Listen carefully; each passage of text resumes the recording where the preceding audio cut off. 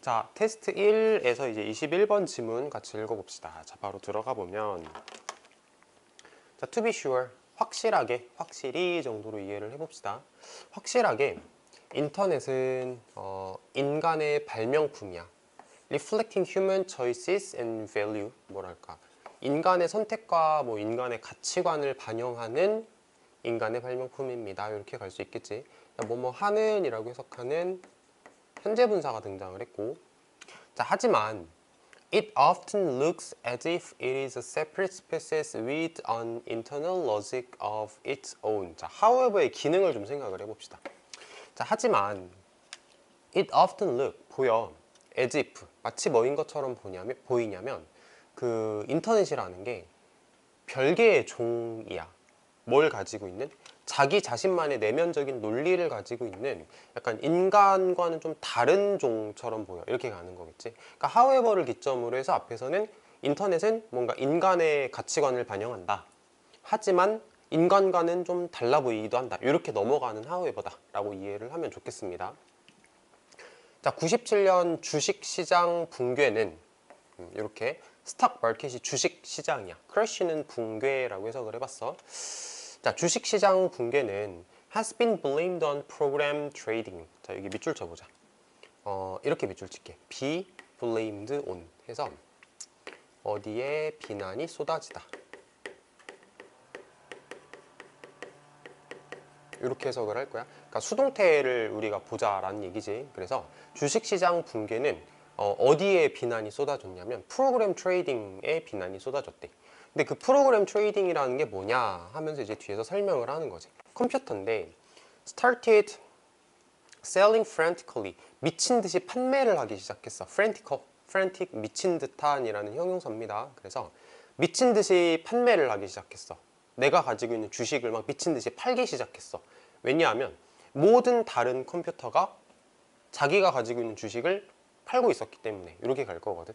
혹시라도 이게 지금 상황이 잘 이해가 안 되는 사람은 이렇게 이해를 해보자. 어, 컴퓨터를 가지고 주식을 한다라고 생각을 해보는 거야. 여기 나오는 이 프로그램 trading이 그런 거거든. 사람이 주식을 하면서 어, 나, 내가 가지고 있는 주식을 팔래, 뭐 살래 이렇게 인간이 결정을 하는 게 아니고 어떤 나름대로의 알고리즘을 가지고 있는 프로그램을 활용을 해서 프로그램이 알아서 팔고 알아서 사고 하게 만들겠다라는 어떤 그런 장치라고 이해를 해보자. 근데 그 프로그램이 지금 뭔가 좀 마음에 안 들게 작동을 한 거야. 막 미친 듯이 팔기 시작을 하더래. 내가 가지고 있는 주식을 막 팔아버려. 왜? 다른 컴퓨터들이 다 파니까. 그러니까 웃긴 거지. 다른 컴퓨터가 파니까 나도 팔고 내가 파니까 쟤도 팔고 제가 파니까 내가 또 팔고 이렇게 이렇게 해가지고 막 미친 듯이 미친 듯이 막 주식 시장이 붕괴가 되는 현상이 있었나 봐 옛날에. 근데 그거를 누구 때문이라고 얘기를 했냐면 그 프로그램 때문이다. 맥락적으로 봤을 때 그 인터넷 때문이다 라고 얘기를 하는 거. 그러니까 뭔가 좀 문제가 있었지.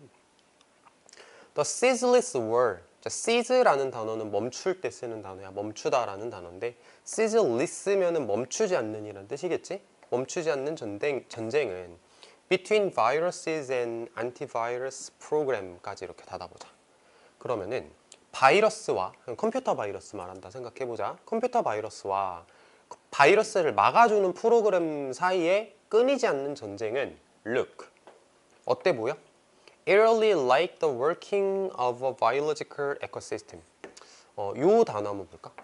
eerly라고 하는데 원래 요걸 기억하면 더 좋을 것 같아. 요거. 약간 괴이한, 이상한 정도의 느낌이거든. 그러니까 좀 어떤 대상이 좀 그냥 이상해 정도의 느낌이 아니고 되게 많이 이상해 좀 이럴 때 eerly라고 얘기를 하는 단어. 이상한이라고 다시 써볼게. 이상한 뭐 괴이한 이라고 해석하는 형용사입니다. 근데 부사로 만들었지. 그래서 이렇게 보면은 문장 구조가 좀 더 잘 보일 거야. look like, look like. 자, 처음부터 다시 한번 볼게. 바이러스와 안티바이러스 프로그램 사이에 끝나지 않는 전쟁은 정말 괴이하게도 look like 뭐처럼 보이냐면 working of a biological ecosystem 어, 생태계의 작동처럼 보입니다. 이렇게 가면 되겠다. 그러니까 딱 봤을 때 어, 컴퓨터상에서 일어나는 바이러스와 안티바이러스 사이의 전쟁이 마치 생물하고 좀 비슷한데 정말 괴이할 정도로 생물하고 비슷한데? 라고 글쓴이가 얘기를 하고 있다. 라고 보면 되겠지. 자 여기 밑줄 한번 쳐볼게. Look 이렇게 밑줄을 치고. 자 우리가 헷갈릴 만한 포인트가 여기서 하나 등장을 했는데 자, 뭐뭐처럼 보이다 라고 얘기를 할 때 look 뒤에다가는 형용사를 써. 뭐 예를 들면 look sad, 슬퍼 보인다 이렇게 해석을 한다라는 거. 그 다음에 look like라고 얘기를 할 때는 like를 두 가지 버전으로 볼 거야. 전치사라고 생각을 하면 뒤에 명사를 쓸 거고 like를 접속사라고 생각을 하면 주어 동사를 쓸 수 있는데 뜻은 똑같아. 뭐뭐처럼 보이다 이렇게 갈 거거든. 그러면은 이제 우리가 이 look은 감각동사라고 이름을 붙이기도 하면서 뒤에 형용사를 쓰는구나. 이걸 어법 문제로 많이 봤을 거야 지금까지는. 또 look like에서 뭐 like가 전치사니까 명사를 쓰고 접속사니까 주어 동사를 쓰고 이런 방식의 문제 패턴을 많이 봤단 말이야. 이쪽으로 와보자. 그럼 우리가 이 문장을 봤을 때 어떤 느낌을 가장 먼저 받을 수 있냐면 어 look 이 형용사 왜 안 썼지? 이런 느낌을 받을 수 있어. 무슨 말인지 알 것 같지? look은 뒤에 형용사 써야 된다며. 근데 부사가 써 있잖아. 그러니까 여기서 어 이상한데? 라는 느낌을 받을 수 있거든. 근데 그 느낌을 안 받기 위해선 우리가 뭘 할 줄 알아야 되냐면 잘라내고 look like 뒤에 명사 등장했다. 이렇게 볼 줄 알아야 돼. 이 문장을 이렇게 볼 줄 알면 헷갈릴 이유가 없겠지. 그 다음에 여기서 말하는 이 부사는 이렇게 동사를 수식하는 역할을 한다. 라고 보시면 될 것 같습니다. 자, however 한 번 더 역접이야. 그런데 even if 비록 one posits that the internet is comparable to biological species, it's obvious that it's not very intelligent. 자, 단어 한번 보고 가자. intelligent 할 때마다 하지. 매번 나올 때마다 얘기를 하지. 자, intelligent는 똑똑한, 총명한이란 뜻이고 헷갈릴 만한 단어 중에 이런 게 있어. intelligible이라고 하면은 이해할 수 있는 이란 뜻입니다. 그래서 intelligible, intelligent 요거 안 헷갈리게 조심합시다. 자, 해석을 이제 해보면 하지만 하지만 비록 누군가가 posit 단정 짓는다 하더라도 단정 짓다라고 해석하는 단어거든. 누군가가 단정 짓는다 하더라도 뭐라고? 인터넷이 비슷하다고 생물학적 종과 비슷하다라고 누군가가 단정 짓는다고 하더라도 it's obvious that 자 해서 it 대십니다. 명백합니다. 뭐가 명백합니다? 얘는 인터넷은 그렇게 똑똑하지는 않다라는 것이 명백합니다. 해서 이때 가주어진 주어 문장까지 읽어봤어. 자 이렇게 하면 첫 번째 페이지가 이제 마무리되고 다음 페이지로 넘어갈 건데 무슨 말인지는 알 것 같지? 그러니까 뭔가 인터넷과 인간 혹은 인터넷과 생물종 간에 뭐 뭐는 비슷하고 뭐는 다르네 하면서 막 글이 전개가 되고 있는데 이제 여기서 무슨 얘기를 하는 거냐면 비슷하긴 한데 있잖아. 비슷하긴 한데 그게 그렇게 안 똑똑해. 인터넷이라고 하는 거는 한계점이 분명히 있어. 똑똑하지가 않아. 이런 얘기를 하는 거야. 비슷하네 안 하네 하다가 결론은 근데 안 똑똑하잖아. 이렇게 이게 첫 번째 페이지의 결론이다 라고 보시면 되겠습니다.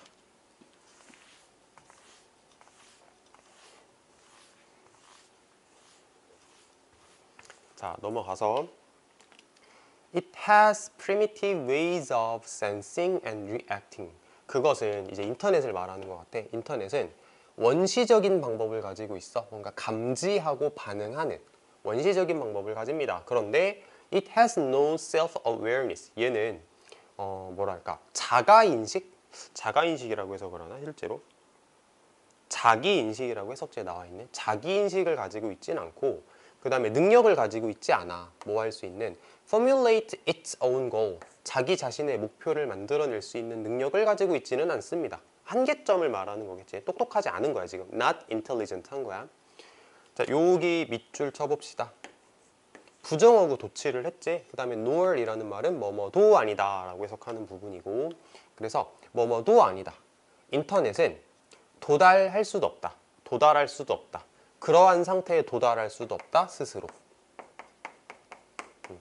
여기서 말하는 그러한 상태는 방금 전 앞에 문장에서 말했던 걸 생각하시면 되겠습니다. 그러니까 뭐 자기 인식을 가지는 것과 자기 스스로 목표 설정을 하는 것 그게 이제 그러한 상태라고 볼 수가 있겠지. 그런데 자, 계속 역접이 나와. 자, 방금 전까지는 인터넷이 가지고 있는 어떤 한계점에 대해서 얘기를 하다가 글이 어떤 방향으로 가나 봅시다. 그런데 It could be the backbone. backbone은 정말 말 그대로 등뼈야, 등뼈. 중추라고 해석하면 되거든. 그런데 그것은 중추가 될 수 있습니다. 뭐에? 섬세한 새로운 유기체의 중추가 될 수 있습니다. 만약에 물리적으로 통합되어진다면 인류와 자 글쓴이가 정말로 하고 싶었던 얘기가 이제 여기 나와. 자 지금까지 무슨 얘기를 했냐면 뭐 인터넷과 생물종의 뭐 뭐는 비슷하고 뭐는 좀 다르고 뭐 인터넷의 한계는 뭐고 막 이런 얘기를 하다가 내가 볼 때 글쓴이가 진짜 하고 싶은 얘기는 여기 딱 나오거든. 인터넷이 분명히 장점은 있는데 단점도 있단 말이야. 그러면 이제 어떻게 하면 가장 좋은 결과를 만들 수 있냐? 인터넷이 새로운 유기체에 복잡하고 정교한 새로운 유기체의 중추가 될 수 있어 만약에 인간하고 결합을 하면 요게 글쓴이가 하고 싶은 얘기야 인터넷과 인간을 결합을 하지 자, 상상을 한번 해볼까? 인터넷은 뭐 나름대로는 뭐 이렇게 정보 처리가 굉장히 빠르다라는 단점이 있겠지. 인간보다 정보 처리가 빠르지. 근데 인터넷은 그 실체는 없잖아. 물리적인 실체는 없는 거잖아. 그러니까 인터넷과 인간이 인간의 몸이라는 실체를 결합을 하면 뭔가 최상의 결과가 나오지 않을까 이런 얘기를 하는 것 같다라고 보시면 될 것 같습니다. 우리 수업 시간에 간혹 하는 얘기 중에 이런 게 있지. 접속사 뒤에서는 주어 동사를 써도 되지만 분사 구문이라는 과정을 거치면 ing나 pp가 나올 수도 있다고. 자, 요게 그겁니다. 혹시 이해 안 되면 학원에서 물어보시고. 자, the internet could become a new nervous system for humanity. 인터넷은 인간을 위한 새로운 신경계가 될 수 있습니다. 이해되지? 이해되지? 새로운 신경계가 될 수 있습니다. 지금 인간하고 합쳤다는 얘기야. 그리고 인간은 새로운 body가 될 수 있고 executive brain이 될 수 있습니다. 인터넷에 대한 저기서 말하는 executive brain이면은 집행하는 두뇌거든. 해석자 한번 볼게. 집행 두뇌라고 실제로 나와 있다. 집행 두뇌. 실제로 어떤 일을 집행할 수 있는 두뇌라고 이해를 하자는 거지. 인간의 몸과 인터넷의 정보 처리 그 속도를 합치면 뭔가 최상의 결과가 나온다. 이렇게. 자, 한 지문 이렇게 읽어봤어. 음, 잘 복습했으면 좋겠고 22번으로 가자.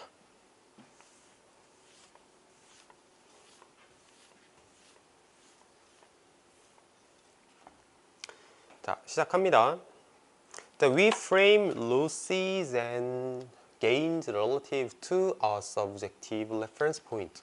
이게 글을 다 읽고 나면은 결론적으로 머릿속에 남는 키워드가 요거거든. reference point. 참고점이라고 해석을 하면 적절할 것 같아. 참고점.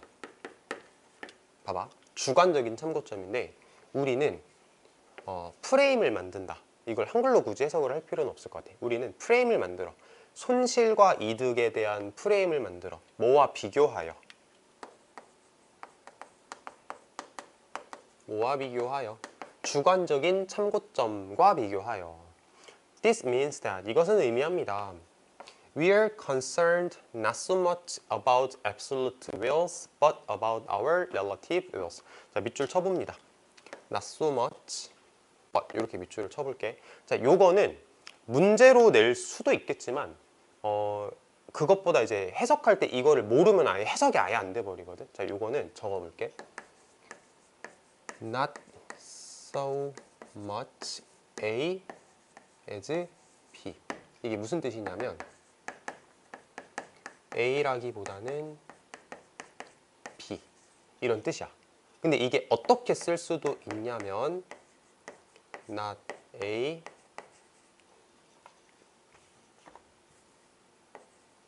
so much as B. 이렇게 써도 똑같은 말이 돼. 이거 입에 그냥 붙여. not so much A as B. not A so much as B. 이렇게 바꿀 수 있다는 얘기야. 같은 말인데. 그런데 여기서 as를 but으로 써도 돼 여기서의 as를 but으로 써도 돼 그게 이제 왼쪽에 보일 거야 not so much A but B not so much A but B 보이지? A라기보다는 B라고 해석을 할 거야 자, 여기가 이제 A가 될 거고 여기가 이제 B가 될 거야. 그리고 나서 보면은 아 A하고 B 둘 다 about으로 시작하는 모양으로 친절하게 문장을 구성했구나 이런 것도 확인할 수 있습니다. 자 읽어볼게. 자 우리는 we are concerned. 우리는 이제 뭔가 이렇게 뭐랄까 어, 걱정을 하고 있어. 뭐에 대해서 걱정을 하고 있냐면 혹은 뭐에 대해서 관심을 가지고 있냐면 어, 절대적인 재산, 절대적인 부에 대해서 우리가 걱정을 한다라기보다는 상대적인 재산에 대해서 우리가 걱정을 하는 거야. 라는 뜻이래. 음, 관심이 있다. 이렇게 해석해도 괜찮고 뭐 걱정을 한다라고 해석해도 괜찮은데 어쨌든 우리는 절대적인 것보다는 상대적인 거에 더 많은 관심을 가지고 있습니다. 이렇게 해석할 수가 있겠죠 자 for example 예를 들어서 if I had bought a house for 어, 저 유로 단위인가? 내가 이건 잘 모르겠어. 내가 만약에 집을 사면 유로라고 읽어볼게. 15만 유로를 주고 집을 사면 then 그러면 this is likely to become my reference point. 이것은 아마도 나의 참고점이 될 겁니다. 그 15만이라는 가격이 나의 참고점이 될 겁니다. 그리고 it is against this value that I measure any gains or loss. 자, 여기는 잘 보자. 문장을 어떻게 볼 거냐면 against에 밑줄 쳐보고 measure에다가 밑줄 쳐보자. 그리고 여기다가 필기를 하나 해볼 건데 어, measure A against B 이게 무슨 뜻일지 대충 감이 와. A에 대한 측정을 할 거야. A를 평가할 건데 B에 대해서 평가를 할 거야 라는 뜻이야. A를 B에 대해서 평가하다. A를 B에 대해서 측정하다. 이렇게 갈 거.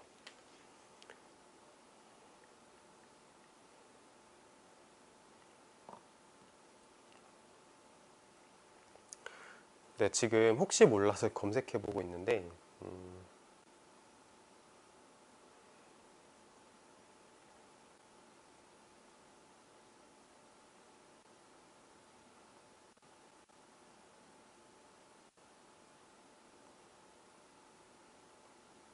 이게 유로 단위인지 프랑 단위인지 내가 돈 단위를 확인을 못 해보고 들어왔어. 이거는 내가 자세히 찾아보고 학원에서 얘기를 해볼게. 유로인지 프랑인지는 잘 모르겠거든. 음. 미안 밑에 써 있구나 파운드라고 써 있구나 15만 파운드 어, 내가 화폐 단위를 몰랐습니다 해석에 써 있네 파운드라고 자, 정정하겠습니다 파운드입니다 파운드 다시 읽어보자 자, 예를 들어서 만약에 내가 집을 15만 파운드를 주고 구매를 했다면 그러면 그 15만 파운드는 likely to become 뭐가 될 가능성이 있냐면 나의 참고점이 될 가능성이 있습니다. 혹은 뭐 더 편하게 해석한다면 참고점이 될 겁니다. 그리고 이거 활용을 할 거야. 그리고 이 가치에 대해서이다. 내가 어떤 손실이나 이득을 평가하는 것은 이렇게 간다고. 다시 한번 해봐. A를 평가하다 B에 대하여 라는 뜻이거든. B에 대하여, B에 대하여, B에 대하여. 이러한 가치에 대하여이다. 됐어? 이러한 가치에 대하여이다. 내가 어떤 이익이나 손실을 측정하는 것은 이렇게 갈 거. 그래서 이 문장은 이렇게 따로 박스를 한번 쳐보고 나서 이렇게 박스를 쳐보고 나서 넘어갈 건데 우리가 봐야 되는 게 두 가지야. Measure A against B라는 구조를 좀 조작을 해서 문장 구조를 변형을 시켰구나. 이걸 일단 이해를 했으면 좋겠고 against B를 이때 사이로 집어넣은 거지. 이때 강조해서 이 against B를 강조하겠다라는 의도가 있는 거야. 그 다음에 이때 강조가 사용되었다는 것 자체도 우리는 알고 있어야 돼. 그래서 이 문장 해석할 줄 아셔야 되고 만약에 어법으로 내도 이때 강조라는 걸 이해하고 어법 문제도 잘 풀었으면 좋겠고 혹여라도 만약에 영작하시오라고 해도 이 정도는 영작을 할 수 있었으면 좋겠어. 자 별표 치고 넘어갑니다. 자 지금 뭐 이런저런 얘기를 하느라 내용에서 이제 갑자기 빠져나와 버렸는데 내용이 뭐였냐면 기준점 정해놓고 나서 그 기준점 가지고 내가 무언가를 판단을 한다. 주관적인 판단을 한다. 이런 내용이었지. 만약에 내가 그 집을 판매를 한다면 15만 파운드 이상 받고 그 집을 판매한다면 나는 이거를 이익이라고 봅니다. 왜냐하면 15만 파운드가 기준점이었는데 그거보다 더 많이 받았단 말이야. 그럼 이익을 얻은 거지. 만약에 내가 더 저렴하게 판매를 하면 나는 그거를 손실이라고 봅니다. 당연하겠지. 15만이라는 게 기준점이었으니까. 자, 그런데 주목하세요. 주목하세요. 나의 기준점은 may not remain static. 정지 상태로 있지는 않을 겁니다. 시간이 지나면서도. 그러니까 변할 수 있다라는 거지. 자, 이제 적어보자. 기준점, reference point라는 게 이제 뭔가를 판단을 할 때, 뭔가에 대한 측정을 할때 정말 기준이 되는 선이다라고 얘기를 하고 글쓴이가 이 기준점이라는 거는 변화할 수 있다라고 얘기를 했어. 변화 가능. 이렇게. 근데 어떤 단어가 쓰였는지를 한번 봐봐. static이란 단어가 쓰였거든. 이건 여기다가 썼다가 지울 건데 static이라는 단어는 정지해 있는 이란 단어야. 정지해 있는. 자, 생긴 게 비슷한 단어 중에 우리 통계란 단어 알지? statistic. 그거랑 좀 구별을 했으면 좋겠고 썼다 지울게. 통계라는 단어하고 비교를 했으면 좋겠고 그 다음에 음, stationary라는 단어가 있거든? 스펠링 좀 깔끔하게 써볼까? 이거 헷갈릴 수도 있을 것 같아서 또박또박 더 잘 써볼게. stationary. 이것도 정지한이란 뜻입니다. stationary 정지한이란 뜻입니다. 근데 하나 더 적어볼게 stationery 자 스펠링이 어디가 다르냐면 A, E. 여기만 달라. 밑에 거는 무슨 뜻이냐면 문구류란 뜻입니다. 얘는 어, 정지한이란 뜻이었고 statistic은 통계라는 뜻이었지. 자 그러면 우리가 이제 뭘 조심하면서 시험 준비를 해야 되냐? 자, 요 자리에 들어갈 말은 정지한이라는 단어여야 돼. 그래서 학교에서 문제를 낼 때 자 어떤 거 집어넣을래? 헷갈리잖아. 요거라고 우리가 대답할 수 있어야 되고 자 만약에 stationary stationery 중에 어떤 거 집어넣을래? 그러면 우리는 요거라고 대답을 할 줄 알아야 돼. 알겠지? 스펠링이 A하고 E 여기만 다르거든. 나도 학생 때 이거 외우느라 좀 고생을 했었는데 난 어떻게 기억을 했었냐면 원래 이런 거 헷갈릴 때 장난치면 좀 잘 기억이 나는 경향이 있는데 여기 E잖아. 나는 이레이저 생각했어. 이레이저 지우개. 지우개는 문구류. 이러면 안 까먹어. 너네도 나중에 저거 생각해봐. 그러면은 좀 유치하긴 하지만 생각이 납니다. 이레이저 지우개는 문구류. 그래서 얘가 문구류. 이렇게. 자 다음 페이지로 가서. 자 if I hear that on average. 만약에 내가 듣는다면 평균적으로 어, 집 가격이 집 가격이 증가했어. 10% 증가했어. 어떤 기간 동안에 내가 그 부동산을 내가 그 부동산을 구매한 이후의 기간 동안 집 가격이 10% 증가했다. 평균적으로. 라는 얘기를 들으면 그러면 나는 이동시킬 겁니다. 나의 기준점을 이동시킬 겁니다. 그리고 판단할 겁니다. Whether I have made a gain or loss. 내가 이득을 받는지 손실을 받는지를 판단을 할 겁니다. 뭐와 비교하여 참고점 가치, 그러니까 참고 가치, 참고점 같은 말이겠지. 어, 16만 5천이라고 하는 그 참고점과 비교하여 내가 이익을 얻었는지 손해를 받는지를 판단을 할 겁니다. 이해되지? 내가 15만을 주고 샀지만 집값이 다 올랐어. 그래서 내 집은 16만 5천짜리가 됐어. 그러면 참고점도 16만 5천으로 이동을 한 거야. 안 어렵지? 자, 그 다음에 여기 어법 체크해야겠지? 여기서 웨더는 뭐뭐인지 아닌지로 해석하지 말고 A인지 B인지로 해석할 거야. 여기 5월이 들어갔잖아. A인지 B인지. 내가 이익을 받는지 손해를 받는지 정도로 해석을 하면 되겠습니다. 그리고 부연 설명을 많이 하진 않을게. 여기 if 써도 괜찮아. if 써도 괜찮습니다. if 쓸 수 있는 조건이 있지. 다 부합하기 때문에 쓰셔도 괜찮습니다. 자, parallel situation can occur. 비슷한 상황이 발생할 수 있습니다. 주식시장에서 where I set the initial reference value according to the purchase price I paid for the shares. Uh, but I may shift the reference value in the future according to how the stock market has performed overall. 여기서 닫아야겠네. 어, 관계부사 where이 뒤에 되게 길게 내리고 있다. 근데 뒷문장은 어쨌든 완전하다라고 생각할 수 있겠는데 자, 주식시장을 뭐라고 설명하는지 한번 봅시다. 자, 주식시장에서는 내가 설정할 거야. 처음 참고점을 설정할 거야. 뭐에 따라서? 구매 가격에 따라서 내가 지불했었던 그 주식에 대해서 그 주식에 대해서 내가 지불했던 구매 가격에 따라서 내가 처음 참고점을 설정을 할 거야. 그런데 나는 그 참고점을 이동시킬 수도 있어 나중에 뭐에 따라서 주식 시장이 전체적으로 어떻게 퍼포먼스를 하는지에 따라서 뭐 어려운 문장은 아니다. 부피가 굉장히 크기는 한데 해석하는 게 어렵지는 않을 것 같으니까 뭐 너무 부담 갖지는 않으셔도 괜찮고 자, parallel이라고 하면은 뭐 평행의란 뜻도 있고 비슷한이란 뜻도 있어.